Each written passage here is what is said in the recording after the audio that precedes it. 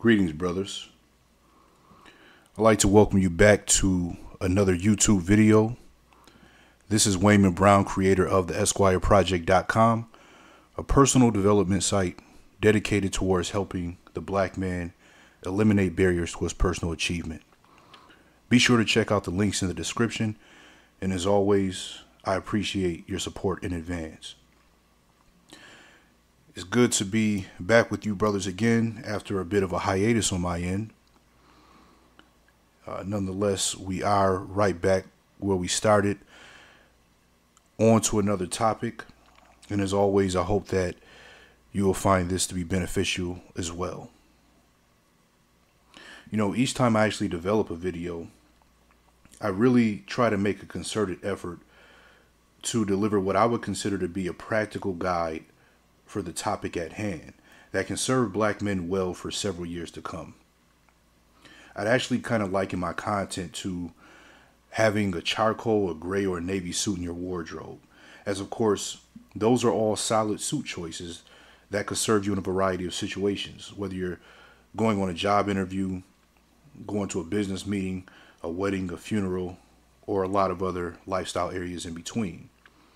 So, indeed, I am a very firm believer that pragmatism is one of the black man's greatest allies, and it can definitely take us a long way from where most of us have probably started from. Now, with this current time period that we're in, where the world is in a state of angst, as the economy has definitely taken a drastic blow recently, it's prompted nearly every person of working age to do some serious personal analysis people are, of course, looking on to the future to see what they're going to do to turn things around. And undoubtedly, they're reflecting on things that they could have done in the past before this unexpected turn of events. And as you should know me well enough by now, if you've been with me for any length of time, and if you're new, I welcome you as well, as you'll be getting to know me. Uh, then you should know that the way that I approach my content is generally to focus on a niche specific or a niche specific, I should say, area, or kind of like a niche uh, specific situation. But I make it relatable enough in the realm of black men's lifestyle topics where it can pretty much be something that everybody can identify with. And so this video is not going to be any exception. Because at some point or another, the majority of you brothers out there, just like myself, either have experienced the situations and themes that'll be expressed, or you actually are experiencing them.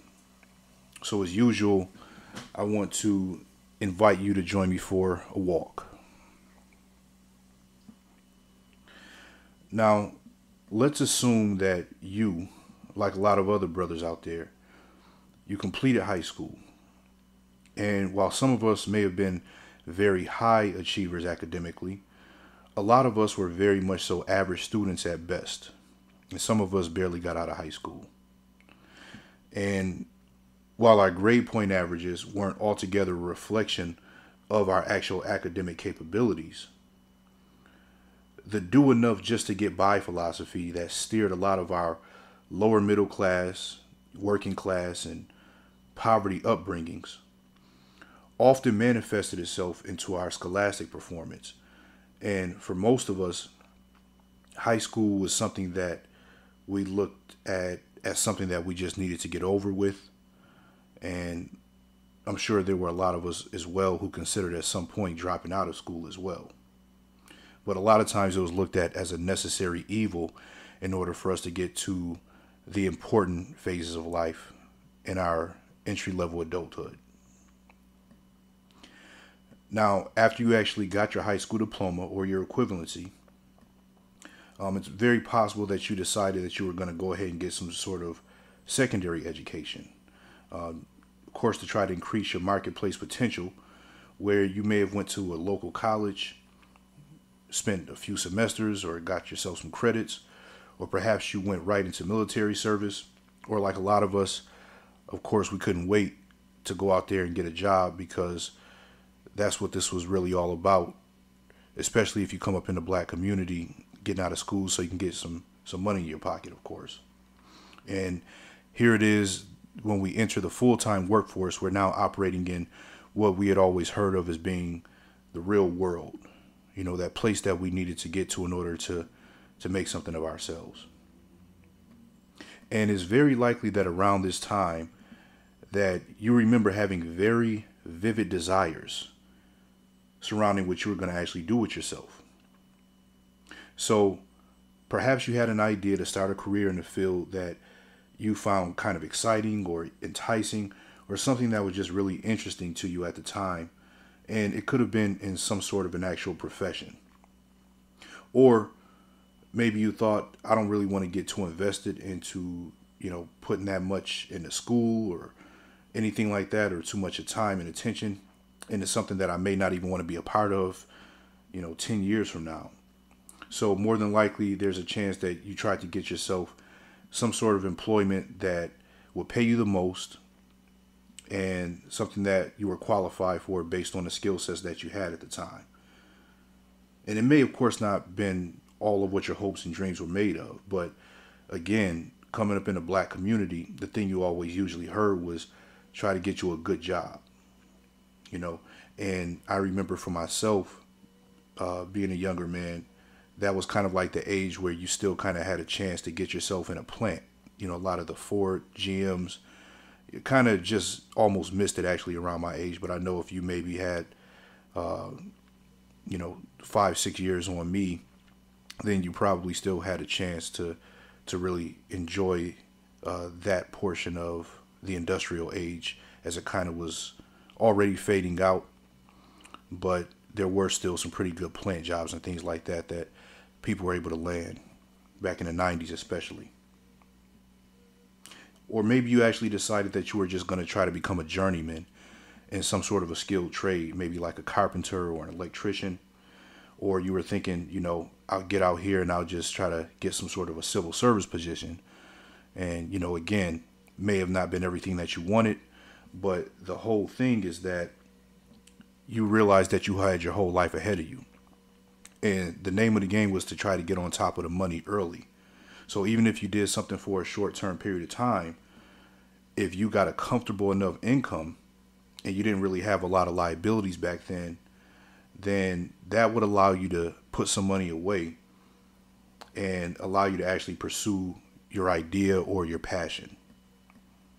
Now, for some of us, again, because we wanted to get the money out the way kind of early, we may have had a legal idea, but it was a get rich quick idea. So we may have just kind of thought of something that we thought would, would kind of work. Um, and perhaps we thought that if we can just kind of flip some money real quick or land ourselves in some sort of opportunity where somebody would pay us handsomely for ideas that we had or for services that we may have had to offer, then that would allow us to you know, get that first initial bag that would set us up for the rest of our lives. Because again, expenses were probably low. Some people may have still been at school or living at home, I should say. You know, so just trying to get yourself established early was definitely a goal for a lot of us. And at the same time, we probably, in addition to maybe whatever hot idea that we had, it's quite possible that we had some sort of a passion you know, or passions. And we saw ourselves being dedicated to one or two things that we really thought that we could become successful at. And we felt very strongly about that passion because as we began to mature, you know, and grow up, uh, we recognized that we had an affinity towards a certain area and we felt very confident and talented within that area. And perhaps we had some sort of positive reinforcement because when we would demonstrate our ability, we had peers who may have recognized that, maybe educators, parents, or other people. And of course, since we know that most of us were very much so influenced by hip hop culture growing up and the materialism that was weaved into the culture eventually, uh, we likely envision using a multitude of our abilities as being a catalyst to afford us some creature comforts of life. You know, getting a nice car, maybe two, maybe a fleet, having a nice house. We probably thought of the sort of loft we wanted to get, the sort of condo we wanted to have, the, the house, whatever, you know, and of course a fly wardrobe. And these ideas would be then encouraged with the likes of shows like MTV Cribs, or if you're old enough, Lifestyles of the Rich and Famous. And I'm sure we can all agree, if we're going to be honest with ourselves, that at some point all of us probably had some sort of an idea uh, around being a pro athlete, an entertainer, a successful artist, or a very savvy and powerful executive. But of course, you know, as the years would pass, that imaginative fire that was within us began to kind of settle down a bit. And it went from this powerful, flaming, wild flame, you know, this powerful pit that you could see from blocks away. And it settled down ever so slowly to a very small bed of warmth where you would actually have to kind of take a little stick, move the coals around, and squint just to see if there was anything still there because as we start to get older and experience different things in life, the realities of the struggles of trying to make a living independently were definitely upon us. So, what we started to do as we saw that things weren't playing themselves out as we kind of anticipated immediately after uh, finishing school is that we started to set up these ideas for what we believe would give us some sort of representation of success in our lives, such as being rich by 25. And if we didn't hit that mark, the next mark was, okay, I want to be well off by 30. And then as we may have seen that time come and go, the next thing began to be, well, I just don't want to be broke at 40. So where a lot of us have found ourselves is in this routine of going about the marketplace with a steady employment history, but without any real meaningful career to look back on. You know, no real specialized skills that we've actually adopted that we could actually excel at. And hence, no real body of work that we dedicated ourselves to based on the use of our inherent and also our acquired qualities being given the best chances of self expression and influence. And instead, what a lot of us have found ourselves doing is we've moved around from job to job, you know, looking at opportunities that pay a little bit more than the last one, may have had a few more perks than the last one, a little better environment, some more conveniences.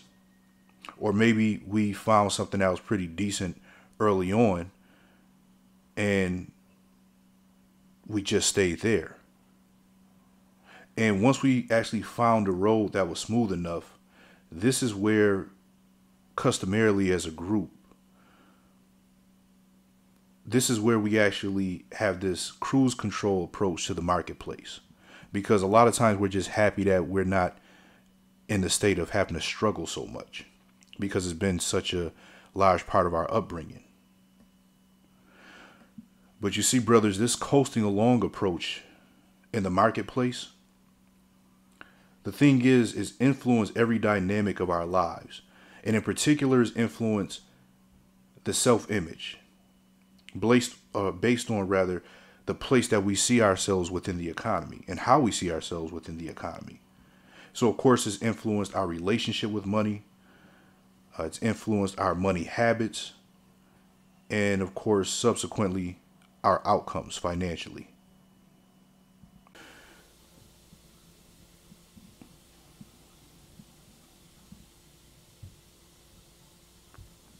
You know, when you think back to those rough times financially that you experienced over the years, a lot of times you're disappointed with yourself because you know that deep down inside that you could have done things much differently to avoid being in such a financially decrepit situation. You know, you're an able bodied, intelligent man with a solid work ethic. And of course, we know that sometimes things can happen that are definitely out of our control. But if we're going to really be honest with ourselves, there's probably things that were well within our control prior to that dilemma that we didn't handle properly. And in one of my earlier videos on establishing baseline standards as a key towards self-mastery, I highlighted I highlighted rather how I actually found myself so down and out financially at one point, and this was in 2013, uh, that I had a negative bank balance. My utilities in my apartment were turned off, and I had to give up my place after falling behind several months on the rent with a very gracious landlord. And this was after selling my car, selling my bed, my stereo, and other items in order to try to maintain. This was a very disheartening time period because when I would walk past a pizzeria on a bright and sunny Saturday afternoon when everybody else was out and about and enjoying themselves, you know, I knew how shameful it was and how shameful I felt that I couldn't even afford a slice of pizza or I couldn't even get a pastry out of a cafe that was only a few dollars. And this is, you know, at the time, as a 29 year old fully grown man who had been working since my teen years. And what really made me look at what habits actually led to this point is when I went to the Social uh, Security website and I looked at my total earnings as a taxpayer over the years. And I didn't even have $1 out of a $100 or every $100 that I had earned put away for myself to deal with any sort of an emergency like the one that I was actually in at that time. So I'm at this time playing Russian roulette with my own survival financially. Now, with the cost of living these days, yes, of course, earning more money could have helped out a lot. However, I acknowledge that my actual poor savings habits and my poor money habits I will put me in such a poor position. And each time that I would see something that I actually wanted, uh, even things that were very modest, things that the average person could actually afford. Every single time that I had to tell myself I can't afford it, a part of my spirit would feel like it was rotting away because I knew that these were things that were so accessible had I just done things differently over the years. And that actually brings me to the first of a few points about this resetting and about this progressing for the solo black man when it comes to his money. So, of course, brothers, as you know, my content is usually speaking to the black man who operates for the most part independently. Uh, you can say the unattached man. Not in that he doesn't have any responsibility towards anyone or anything, or that he doesn't involve himself in uh, relationships romantically and things along those lines. But for the most part, my philosophies speak to the man who doesn't have certain lifestyle restrictions and obligations that would make it less feasible to actually apply the ideas or to even uh, have the views resonate with them fully. So, the first thing that I want to focus on for a bit is the importance of being a man of means as a black man who lives on his solo tip. Now, for our purposes, being a man of means is not centered around being a big spender, but rather it's about being established to provide adequately for ourselves the tangibles that would actually allow us to experience a more promising version of ourselves It's really about having our stuff squared away. It means that for our purposes, we can adequately take care of our basic needs, which can include a private residency, food, uh, a basic appropriate wardrobe, health care, and as an option, personal transportation, especially depending on what area of the country we might live in. Things that would altogether uh, allow us to live in a state of continuity along with other select lifestyle options that would fit the bill as well. So, those times where we see something that we want or something that we want to do, or what about those things that really energize us, that, that push us, that help us to feel a greater degree of satisfaction? Those reasonably attainable things that we know that we should be able to pursue. Simply because we view it as something that should be a part of our personal standard of being a put together solid guy. Not because it's some sort of exercise in the futility of imbalanced self indulgence. So there are things that we wish that we had the money to do or had the money to get. And deep down inside, it's because when we look over the course of our lives, we know what our abilities are. We know what we should be able to attain and what's reasonable for us as an individual. And interestingly enough, this doesn't always mean that we'll actually decide to go get this thing or to go do these things. But the key is we want to be in a position where we can. Notice that there's a big difference between being a materialistic man versus avoiding complacency about the business of feeling established and being established. The thing about being a man of means is that it requires growth and management. And it also allows us to keep a healthy dose of ambition centered in our lives on a continual basis. One of the other benefits, of course, is that it protects us. It's a hedge against various dilemmas that occur throughout life. You know, I'm pretty sure that you had the experience of looking at some situations in your past and you realize that you were maybe just a couple of thousand dollars, fifteen hundred, two thousand dollars away from avoiding a lot of burden in your life. Whether that meant having some money put away to make that necessary repair on your vehicle so you can keep it moving, keep everything uh, in, in routine as it normally is, or maybe there's some sort of medical or dental services that you might need even if it comes to having the assurance money or the insurance money for those types of services allocated every month that could prevent a lot of problems and that can avoid a lot of uh, hospital debts and things like that. Or even if it's just the simple fact of, you know, keeping yourself ahead of the rent for a couple of months in the event that you have some sort of a sudden job loss or decrease in hours or something along those lines. We want to make sure that even when unexpected things do occur, that we know that we can take care of it without it interfering too much with our mental state or our general routine of life. So, oftentimes, being a man of means, it really includes living well within our means and avoiding the trap of unnecessary debts that would become burdensome if any one thing in our life doesn't go as planned, as we mentioned, such as a change of income or a failed business venture or pursuit or an investment that went wrong. We want to try to not have a whole lot of things if anything at all, hanging over us too much.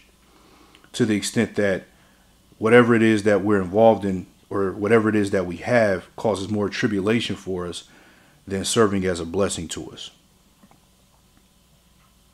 So, what are some things that we can actually do towards the development of being a man of means? Well, of course, as we mentioned, a lot of us have money habits that we've accumulated throughout the years that have actually led to less than satisfactory results. And I think that one thing that we can get on top of immediately is simply reducing the money drain. This means reducing the frivolous spending that we don't think much about at all. Constantly buying uh, lunch at work every day, five bucks, ten bucks, spending money out of a vending machine, add another three to five bucks a day on that. Regularly ordering takeout three, four, five times a week, even more. Not sticking with a budget when it comes to entertainment. And really capping that budget off with whatever it is that we decide that we want to be into for recreation and to relax.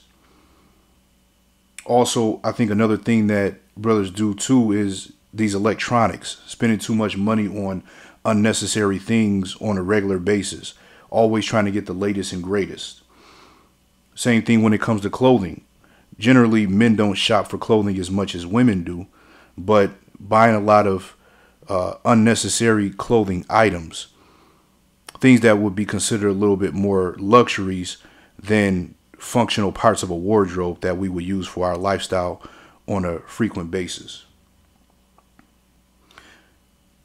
if you set up some constraints around those areas alone, you're going to notice an immediate difference. And a bit later, we're actually going to get into what you can do, or a way rather, that you can actually indulge in those sorts of things in a financially responsible manner.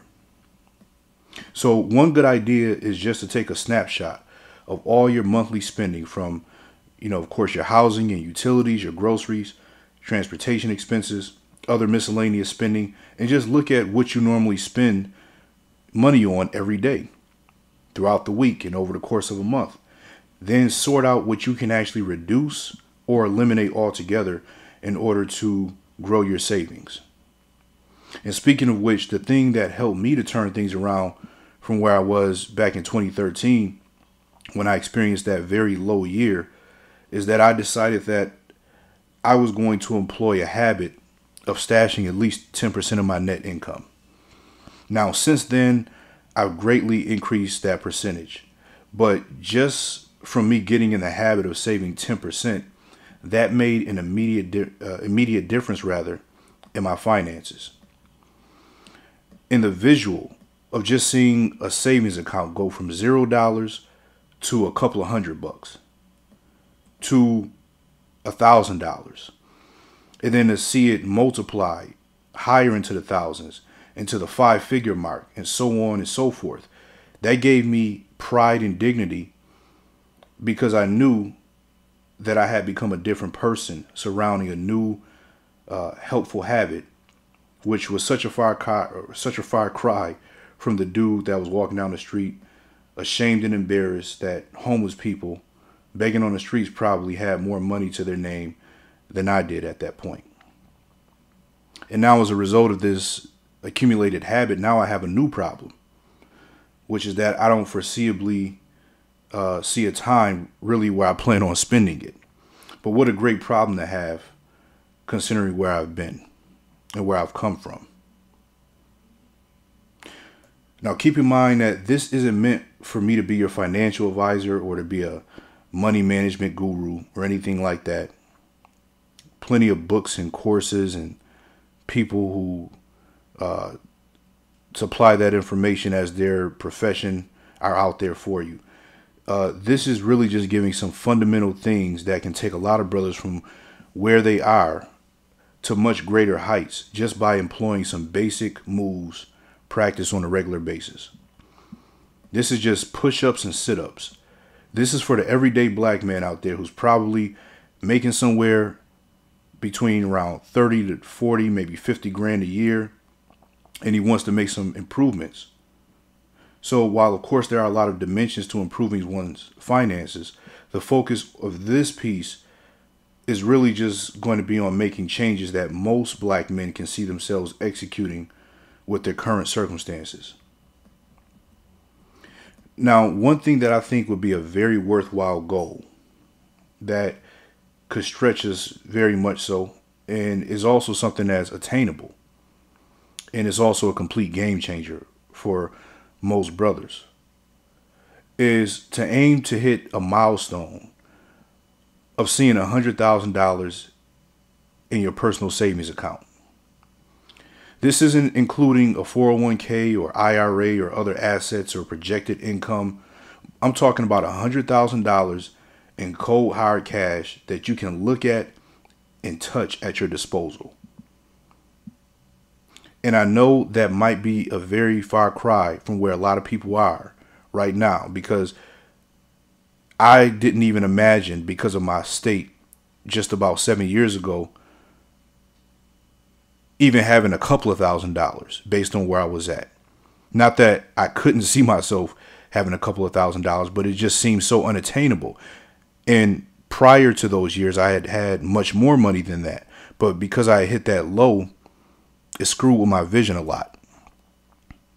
And at that point, literally, a $20 bill or a $50 bill would have changed my actual life. So, no matter where you're starting from, I want you to think about how powerful it can be if you got a hundred grand that you can put your hands on for most people, unless they have a lot of serious major debts, with a $100,000, you could diversify the use of that money as an independent brother in so many different ways. You can go ahead and get a property, have it paid for, have it out the way, and you don't even have to wait till you get the 100K to do that. But this is just as an example to illustrate. You can just get a house, have it over and done with. Especially if you get one of these fixer upper homes in one of these cities throughout the Midwest or select areas of the South. You can even get yourself a manufactured home if you decide to. So, what's actually most people's largest financial burden, you can just have over and done with. And think about the sort of position that that will put you in over the coming years. You know, you could scope out a decent enough area or town, or maybe it's even in a place that you already live in currently. And it may not be everything that your hopes and dreams are made of, but you don't have to stay there forever either. And at the same time, it can serve as an outlet to get you some leverage in life for a very long time. And even if you decide that you just want to be in a certain area, let's just say six, seven, eight years, you still have the option where you can either sell your home or rent it out to another person, have another source of income, whatever you want to do. And we're talking about homes that you can probably get like in the mid five figure range if you shop around enough, sometimes even less. You can even use a portion of your 100K to go ahead get yourself a reliable vehicle that you can drive for a long enough time. You know, let's say again, six, seven, eight years or more. Get yourself a truck or SUV, a reliable car. Maintain it, stay on top of it. Now you just knocked out would usually be the second biggest expense for most people throughout their life may not be the latest and greatest, but again, you can have it paid for, over with, and out the way. And again, this is why this particular piece is speaking specifically to independent black men because there's a little bit of a different value system for most guys who uh, have reached, you know, their late 20s, perhaps, you know, their 30s, maybe their 40s, and they've been doing their own thing all this time. But there's just certain things that uh, you could foreseeably see yourself doing because they will make a little bit more sense and be a little bit more pragmatic for your lifestyle. And if we really think about it too, fellas, as black men, when it comes to this hundred thousand dollar idea, we know that for black men, cash has always been king even when you hear about all these different types of investments that you can get yourself into, we like practical multiplication as a group. It's just something that resonates with us culturally. We like stacking dollars. We like doubling and tripling, quadrupling our money.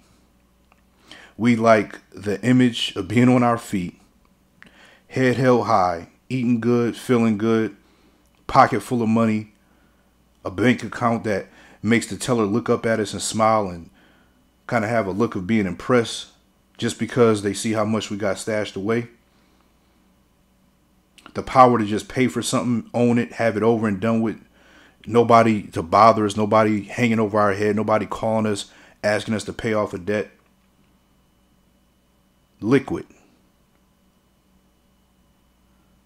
And in fact, it could even be said that a lot of the reason why you find yourself as an unattached man after all this time is because you've always known the importance of having money to make moves and the importance of maintaining a flexible lifestyle. And we've seen the issues that arise from having a family uh, when you can't really support that family in a way that you think is adequate to give them the best chances of success in life, particularly your children, especially when we're talking about an economy that's always up and down, particularly the sort of economic state that we're seeing a lot of people go through right now with the lows before the highs come again what seems like it'll be some time before that happens. Now as mentioned of course this is not an actual finance course.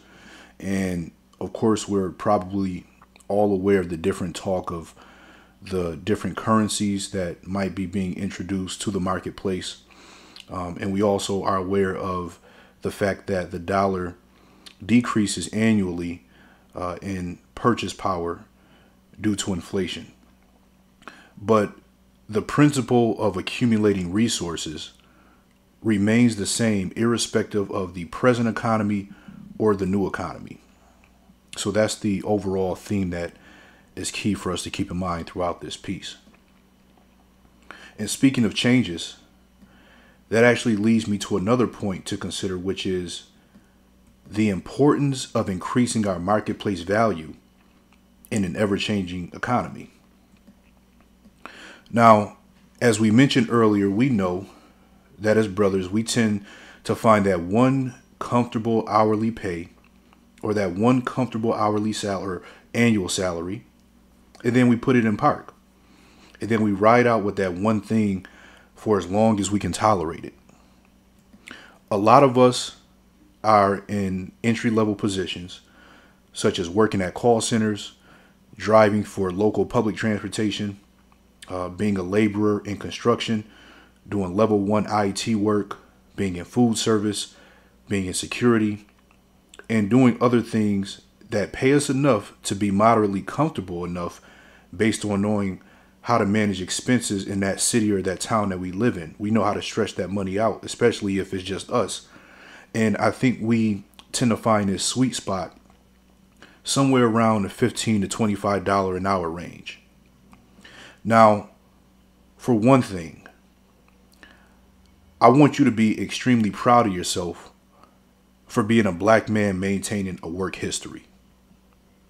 If you're one of those people where your family and your friends always know you to have a job or you got a business or side hustle, whatever it is that you do, they know you always got something going on. And at any point in time when you haven't had one, you're always looking. Very short amount of time typically before you can pick up something else.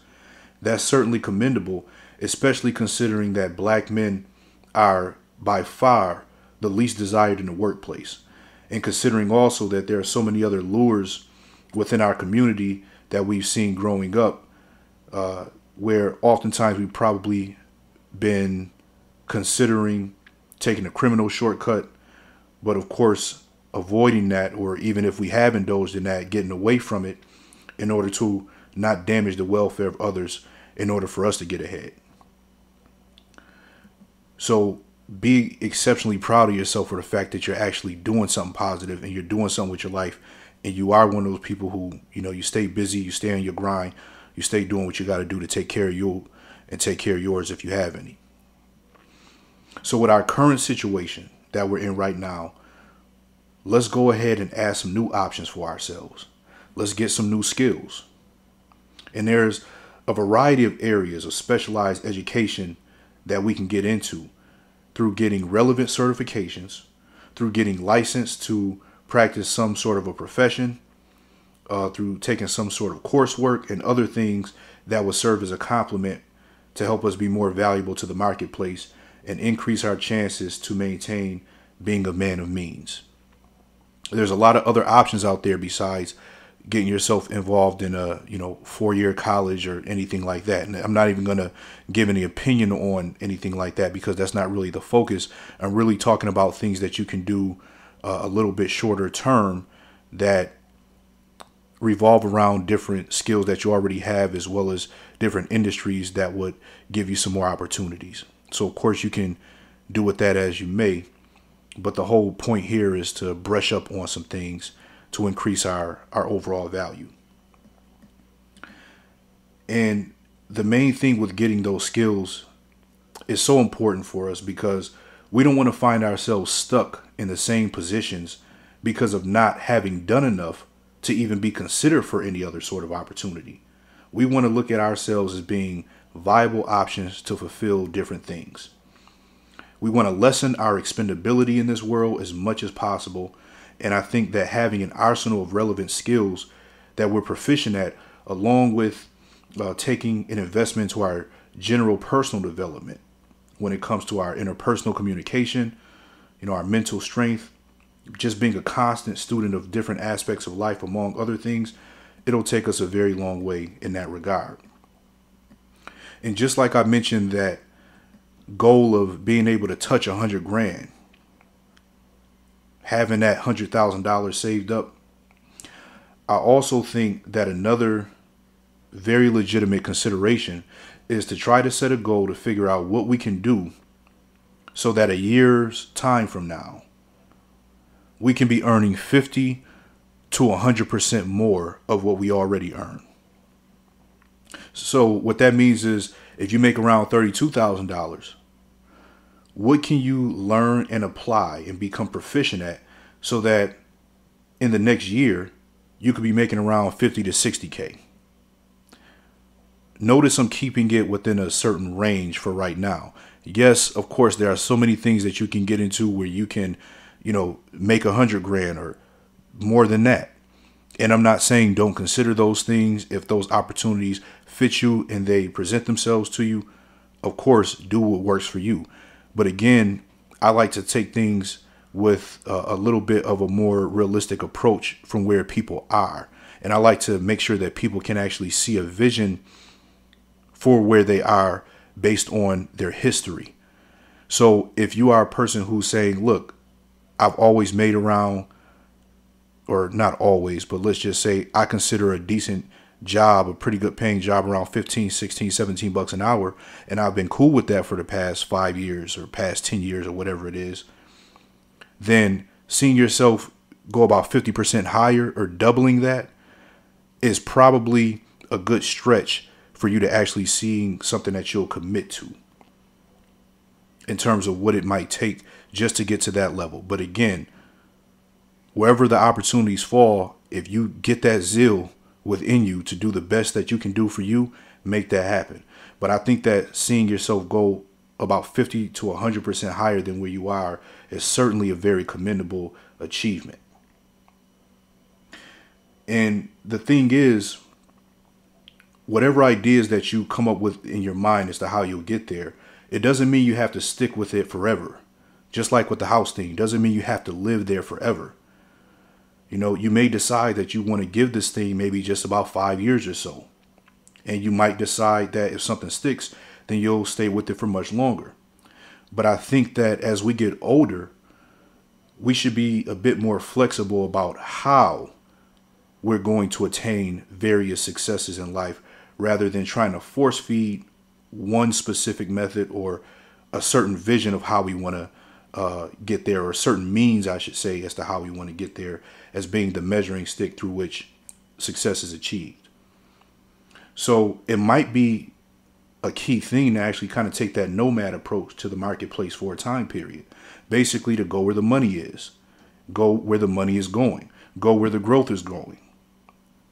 Because if we really think about it, we've already kind of taken somewhat of a nomad approach anyway throughout our life when it comes to work. But the thing is, a lot of times we're not even doing it for a specific purpose other than to earn a few more cents, maybe a couple more dollars, or maybe because there's a little bit more of some sort of convenience to our life in taking said role that we found ourselves in. But we oftentimes know that professionally for us or personally, it doesn't really represent a lot of progress or growth for us.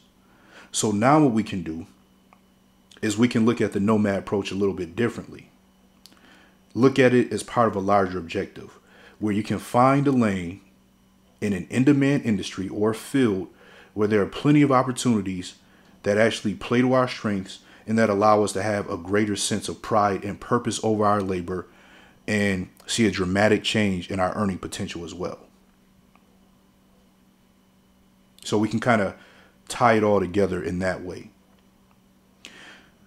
And sometimes when you think about all the different opportunities that are out there in the workplace, you might actually think that you don't want to be involved in certain fields or industries because they strike up certain images that automatically look unattractive to you whether it's how you would dress every day or the things you might have to expose yourself to, the mundaneness of the field, the sort of people you have to be around, or just a general disinterest uh, based on what you understand about that area. But the reality might be that you just need some more exposure, both by having conversations with people who are in those fields and trying to get some real time exposure, asking around, doing more digging and research to see if there's a certain place that you can envision yourself being successful at within that area. When I was in high school, uh, they had a book called, I think it was called The Occupational Outlook. Um, and there were so many different things in that book where it broke down the skill level, the education, the pay, uh, in all these different specific areas that you can work that you can work in within all these different fields. And even if you were uh, a misdirected young black man back then, coming up in the hood, not having a lot of real direction or not really knowing what you want to get into, you go through that book, and if you had even a halfway decent brain on your shoulders, you were bound to find something that would actually pique your enthusiasm and make you want to get into it.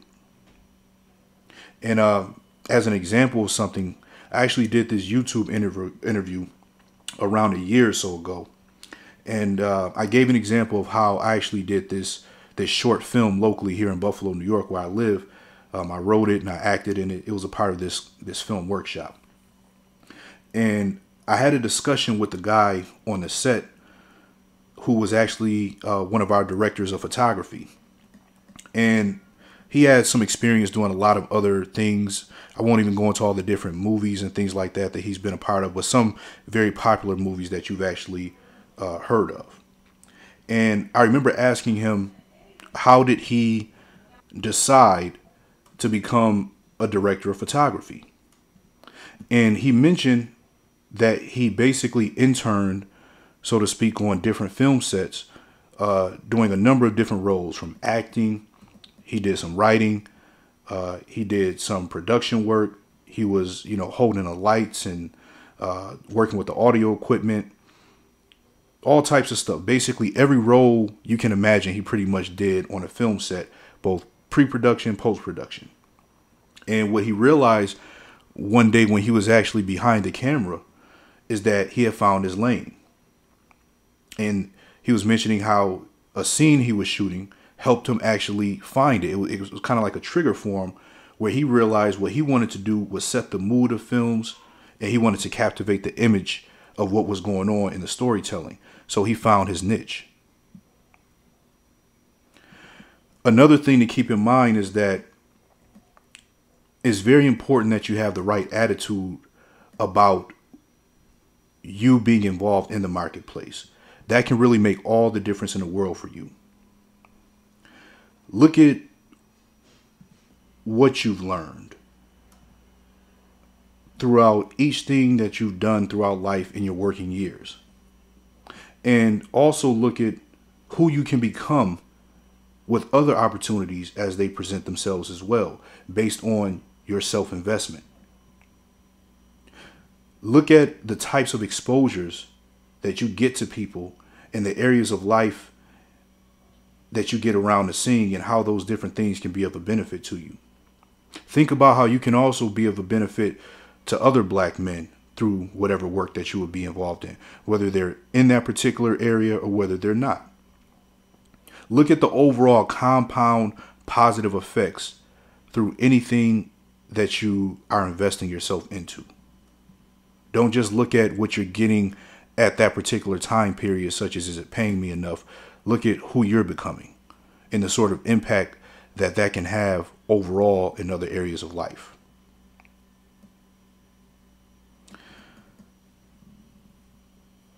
And, brothers, when we really look at our income and when we look at the current roles that we perform right now and whatever it is that we're doing, no matter how good we might be doing, or no matter how much me, uh, we may want to make improvements, all of us more than likely know that what we're being compensated for is not directly in proportion to the actual level of potential that we have. The roles that we're fulfilling aren't necessarily all the way connected to what we can do. But in order to see an increase or to see a development in any of those areas, then we have to perform much better than what we've been demonstrating. Now, that actually brings us to another very important area, which is the importance of creating self enterprising opportunities. Now, being self enterprising is figuring out ways through which we can deliver direct value to the marketplace, where we determine our worth, and where we take on the responsibility of producing results independently. Entrepreneurship is really what we're talking about. And in its rawest forms, without making it complicated, it's finding value that we can deliver to a market of people, taking on a calculated risk of using our own resources with the goal of attaining a greater yield than we started with, and delivering on that through goods and services and through ideas. This is the place where we can start to take more control over our financial destinies. So, this is where you actually have the freedom to think about a passion project where you can monetize being a writer, a musician, a photographer, an artist, whatever it is that you're good at, whatever inspires you. You actually have an opportunity to make money off of your talents here. And there's so many ways, of course, with this day and age, especially with the advents in technology, to actually get your ideas out there into the world. What I would suggest when it comes to this realm is start the process of allocating around 10% of your take home pay towards your self enterprising or your entrepreneurial fund, where you're going to use this money specifically to grow some sort of business that you can run by yourself based on something that really moves you. And try to get your savings up to at least a thousand dollars or so because you're going to need money to make different moves. And even though it doesn't really cost a lot of money to get into entrepreneurship, there's ways in which you can do it for very minimal, if any, money. Uh, where literally I'm talking about under a hundred bucks, you can start certain entrepreneurial projects. But I would recommend just try to, for a lot of different purposes, try to start with about a grand uh, or at least have that set aside so that you can make some moves when you need to within your efforts. So, the reason that this is such an important step for black men is because, of course, as we mentioned, it's important that we maintain this state of being a man of means. And when you're a black man and you work for somebody else, and especially if it's not on like a contractual basis where they have a commitment to paying you X amount of dollars for a certain amount of time in writing. When you're talking about at will employment, like most of brothers are in that situation, you don't really know when your time is going to come. You don't really know j- just because they like you or just because they appear to like you, just because they recognize certain things about you that are positive you just never really know when your time is going to come when you're solely depending on a job to be there for everything. But what's also of great importance is that entrepreneurship for black men it's like an injection of a second level of this demigod sort of strength that you never knew existed after all these years but then finally, you can start to see underneath it all your potential. Because all your ideas, all of your experiences, all of your observations, your perspectives, your lessons, all those things start to come together in a positive way. Because you can actually select audiences of people who will identify with what you have, both your positive parts of your story as well as the negative parts, or whatever form that you would choose to practice entrepreneurship in. You can identify people who can see the value of what you become and what you have to offer them, and who will graciously support those efforts by using their own hard earned money to demonstrate their appreciation. What a beautiful gift. And please visit Entrepreneurship for Black Men or Emerging into Entrepreneurship another one of my YouTube videos, one of which started as a series and one that'll also have more parts coming to it soon. See, self enterprise, brothers, is a key to being more valuable to your networks, in particular, your networks with other black men. And it also helps you to uh, to begin to uh, design the sort of life that you want for yourself because you start to get a little bit greater control over the use of your time as well as your earning potential because there's no actual cap here. There's no salary. There's no budget for how much uh, you can actually make. There's no limit. It's really up to your own personal demonstration of value and the ability to actually deliver on something and finding a, a market of people who are willing to support that monetarily based on the guidelines that you set out. And just think about how beautiful it would be if every time you have a conversation with another black man, uh, the conversations allow for you to discuss the different business projects, the different hustles you got going on, different things that you have going on for yourself where you can actually figure out ways that you can come together and match up with each other and support each other's endeavors and to be more resourceful to each other with information, helping brothers make a lot of costly mistakes. You can also meet other brothers who are a little bit more well established into whatever traditional businesses that they might be running. And all this, it sets the tone for us coming together in these like minded groups that I think we're starting to see that we're starting to gravitate towards based on having very specific principles that we all stand by in addition to our interests. And we can use this to start to attain power for ourselves, both politically and through practicing group economics, where we can actually look to each other as a source for being uh, an opportunity for business, for social and civic opportunities, and things like that, for employment opportunities. What a beautiful thing if there's just a network of black men where you can essentially get all of your needs met based on brothers that you already know. So now's the time to explore all of your options when it comes to this. You don't have to put a limit on this, just like there's no limit on the income you can earn. There's no limit on the ideas that you should be allowing yourself to brainstorm about, to get excited about, that'll put a smile on your face. Maybe even going back earlier to those times where you were younger and maybe there was something that you thought would have been a good idea. Maybe you tried your hand at it and left it alone and gave up on it. But now that you have the experience, the decade, the decades, etc., now you actually probably have a, a, little bit of a better position and a better understanding of how to make things work. Now you can actually try it again.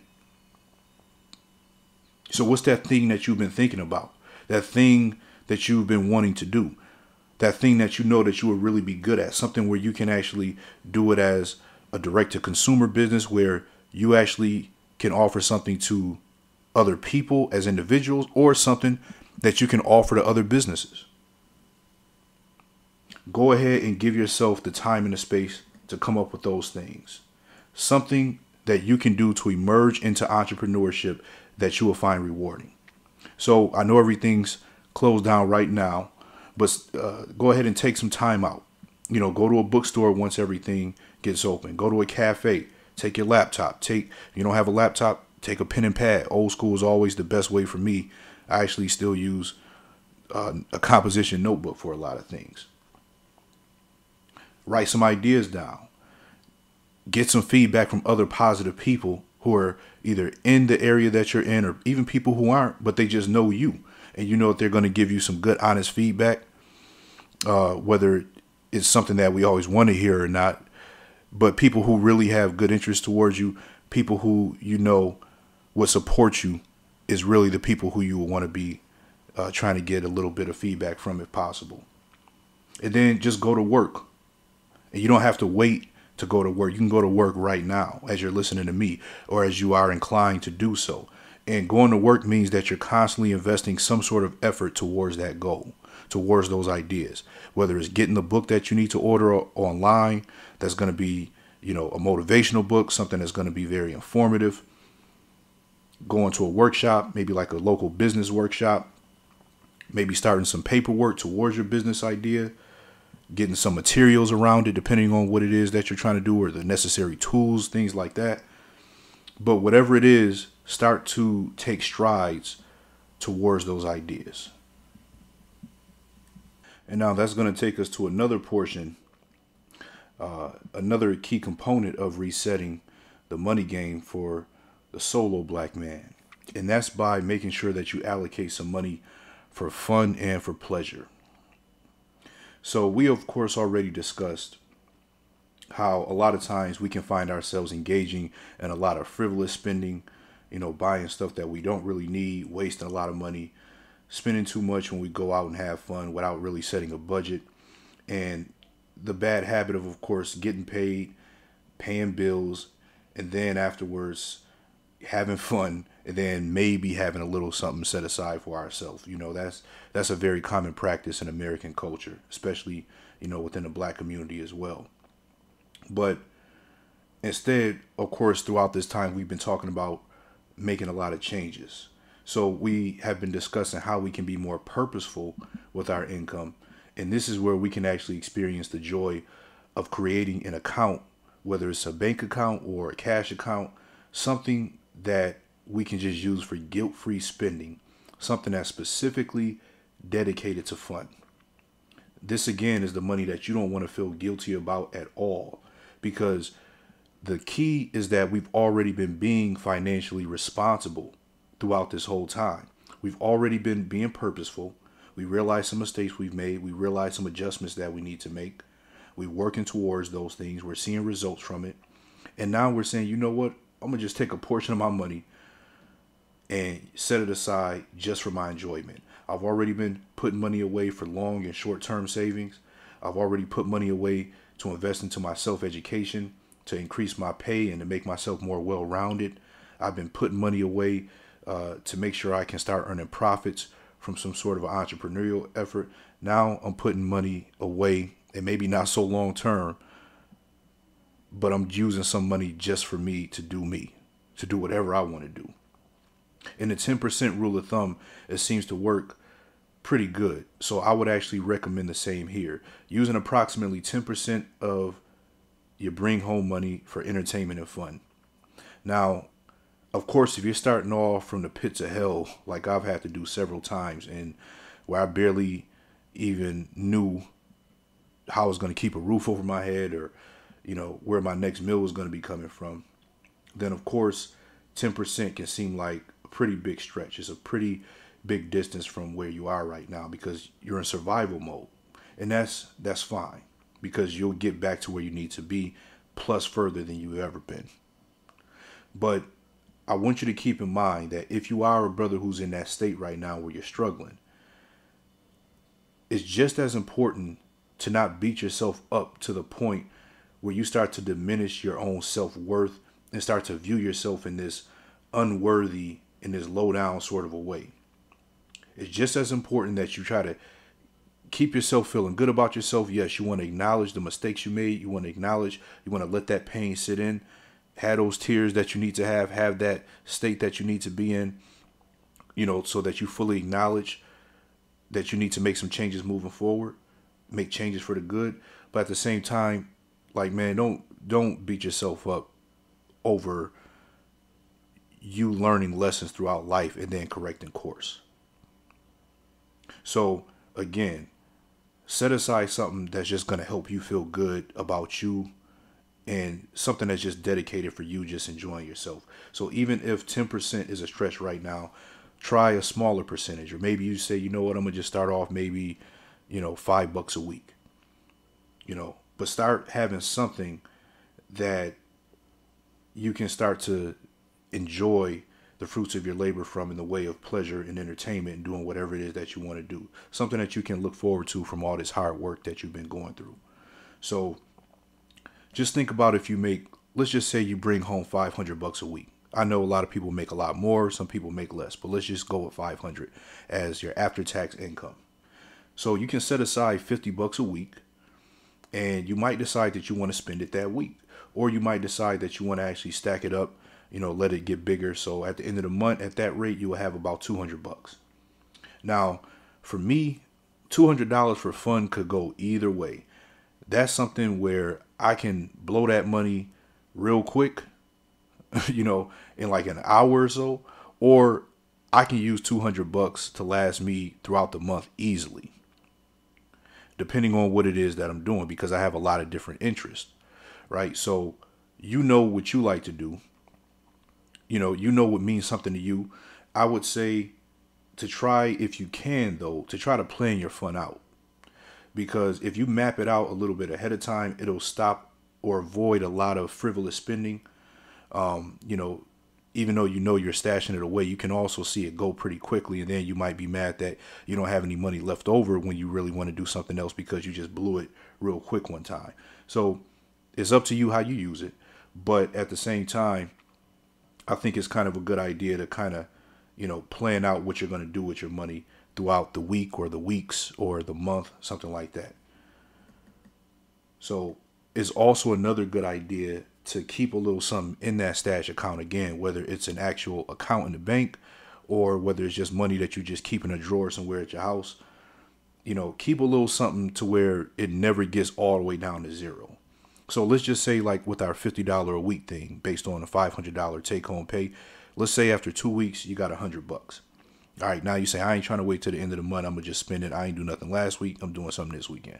Cool maybe try to set aside like maybe just five bucks though you know don't spend a whole hundred if you can help it just keep five bucks just so that you know that you have something to look forward to you're not like starting all the way over from scratch and i'm telling you just seeing that visual of having a little something left over is like that five dollars that you keep that you you know kind of keep your your fun account open so to speak like at a credit union is gonna act as like a magnet for you because you're to get this visual and this connection of oh, okay i already got something. I'm not starting all over. Now i just got to keep on adding more to it. it it may sound like a small thing but it is something that actually makes a big difference. It's it's a big difference maker if you can if you can do it so maybe on a couple of occasions you might decide to just blow it all just because you know what you just need to experience some sort of liberation in that way you know, especially if when it's time to maybe celebrate something or a come up that you got. But other times, you know, you might want to just try to pace yourself a little bit more. And um, another thing that I would say is also a good idea too is sometimes we can get in this this uh, groove of thinking, okay, I'm gonna wait for a long, long, long time before I do anything that's pleasurable or anything fun. And I think that maybe depending on how much money you make, you know, like say if you hold off on fun for like three months, you know, or let's just go six months and you like, I'm saving all this money up. I'm about to go take a cruise or I'm about to go here, go there, or whatever it is I'm about to do. That's completely cool. But just don't, um, or my suggestion at least would be not to get into this constant state to where you're putting off the money that you've allocated responsibly after taking care of everything else. You're putting off so far away that fun and looking forward to fun is a little bit more burdensome than you know rewarding. So that's the only thing that i would suggest. Is like yes for some things you probably will need to stack up for a while. And that one thing that you want to do like i said maybe you want to go out of town or whatever it is and you're like i'm gonna just preserve my fun for then yeah that's cool do that you know and at the same time try where you can to try to experience some sort of regularity of some sort of enjoyment in between those times, even if it's just a little something that you do here and there. It might be, all right, cool, I'm gonna just go to the movies this month, or movies kind of getting up there, I think. But I haven't been to the movies in a long time, but you get the point. Maybe it's just something smaller that you do, you know, each month on the way to the big thing. That's really the point I'm trying to make. So there is a very big dis- uh, distinction between, you know, self instant gratification and using your money in the way that I'm talking about. So in the way that I'm talking about, it's it's planning the use of your funds that's specifically dedicated towards pleasure and that also have constraints. So again, you're putting a cap on it, 10%. That's how far I'm going for right now until maybe, you know, I hit another tier of income or something like that. I'm gonna, I'm gonna keep it right there. In addition, I'm already doing all these other positive things that I need to be doing so this is where again that guilt-free spending comes in. There's a difference between that and feeling like you just gotta have something whenever you gotta have it because you see it and you can't put it off, and you know you're not even taking the time out to take care of other areas of your life. So you're always kind of starting off in a deficit or starting off uh, financially irresponsibly. Of course, that's that's a different story. So, brothers, don't forget to enjoy yourself by using that money you know, for what you want to do. You've already been allocating like a champ in those other serious areas. And uh, don't forget that a, a major part of life as well is being able to enjoy oneself after all this this effort. So that kind of winds down a lot of the things that I actually want to talk about. I think we we covered a lot of good areas. Um, I think that this was something that you know could come in handy and come in use for a lot of brothers out there. I think it's pretty good timing considering the time period that we're in, and also even if this is listened to some years from now, I think again it'll still be it'll still be relevant. And so maybe the only other two things I would touch on in this piece is when it comes to debt and when it comes to being benevolent or charitable or volunteering a portion of your income towards other people and other things. So when I'm talking about debt specifically, I'm talking about a certain kind of debt, not just paying off your credit cards or things like that that you might have going on. Specifically, I'm talking about if you're indebted to another person. If you know that there's something that's going on right now, you know, a move that you made where somebody let you borrow some money or whatever it might be, go ahead and take care of that person. You know, you don't want to have stuff like that hanging out there. Is is not cool. I understand sometimes things may happen, but you have to confront that. You can't avoid that you have to go ahead and take care of your business. So I'll pretty much be short and sweet with that and just say, look, if you owe somebody something, you know, and I'm particularly talking about, uh, you know, a family member, a friend, if there's something going on where you know that conscientiously you need to do the right thing, go ahead and take care of it, even if it means that you just have to make arrangements with that person.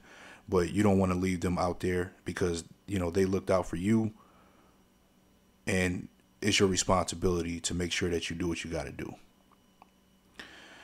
The other thing I would touch on briefly is when it comes to using a portion of your money towards other efforts um, that aren't necessarily connected directly to your life, such as uh, investing into the efforts of other people. And what I mean by that is, of course, we know that a lot of people are charitable. You know, they'll use a certain portion of their income towards whatever it is that they believe in a cause or something like that.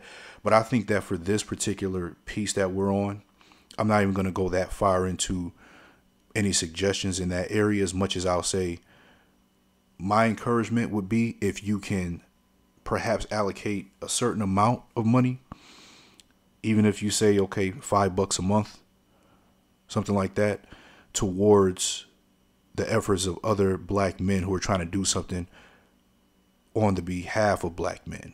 So, for an example, of course, on the YouTube space, we have a lot of brothers who are creating content. You know, you might decide that you just want to go ahead and devote five bucks a month, whatever it might be, just towards one person. You know, or maybe you want to give a dollar to five different people, however you want to do it. And it doesn't have to be five bucks. I mean, it can be whatever you think is most appropriate of course, there's all types of ways to contribute towards the efforts of other black men, but I think that that is a really good way to practice a spirit of generosity because even though in a way you're kind of getting something for what you're donating for, nobody's really formally charging you. So you're still showing that you have an appreciation and you're still showing that you want to contribute towards the efforts of other people. So, especially as you're trying to get on your feet and maybe you don't have you know the means to do something on a mass scale that you might want to do when it comes to a charitable effort like you would imagine that you would do you know as as your money really gets up there. I think that really just having a conscientiousness about uh, contributing towards other brothers who are doing something that you benefit from and you see they're trying to do something positive you know even if, if it's supporting a business that you know of that another black man has and you know shopping there or getting something from there a few times a year, whatever it might be. Just being a little bit more concentrated in that effort, I think also goes a long way to helping to build these relationships that we're going to need with each other as the years come. So, my brothers, it was certainly a pleasure. Um, as you know, a lot of my videos may have some length to them. I think this might be, if I'm not mistaken, probably thus far, I think my longest one that I've, I've recorded. But um, again, it's been a minute. Um, I want to thank everybody, as always, for their support. Look for more on the way. And as always, brothers, peace and love until next time. Keep your mind strong.